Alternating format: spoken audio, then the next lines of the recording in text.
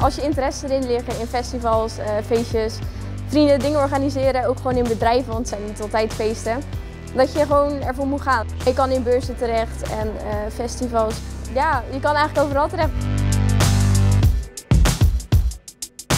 We organiseren met onze opleiding de Open Dag voor de International Event Management en Sprint.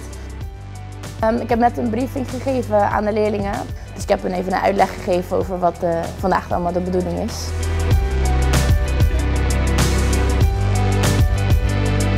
Willen we op zoveel mogelijk manieren de mensen bereiken. Dus nu hebben we de Snapchat ingevoegd. En dat betekent dat we een eigen account hebben van een evenementopleiding. En daarin kunnen we iedereen zijn vraag beantwoorden. Je kan heel snel iets de wereld insturen, een leuke foto voor 10 seconden of een leuk filmpje.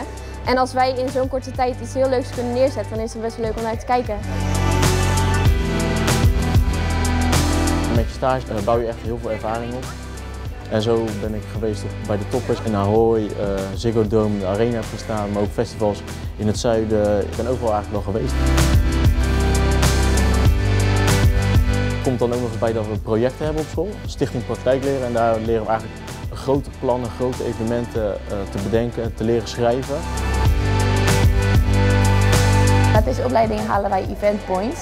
En uh, het is dan de bedoeling dat wij met uh, verschillende evenementen meelopen, vrijwilligerswerk doen in principe. Um, zo hebben wij eerder dit jaar meegegaan aan een uh, Halloween optocht, nationale top toe, Harbor Run, noem het maar op. vandaag doen we dan de open dag en morgen. En volgende week doen we bijvoorbeeld de Chinese New Year.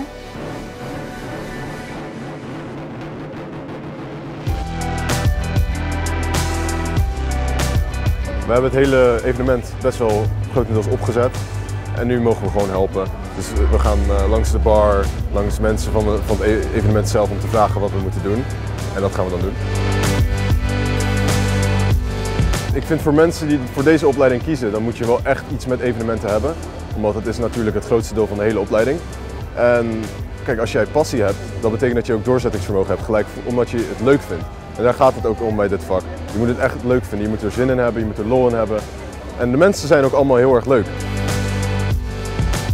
Wat ik zelf heel erg leuk vind is dat je wel echt drie dagen volop met de opbouw bezig bent.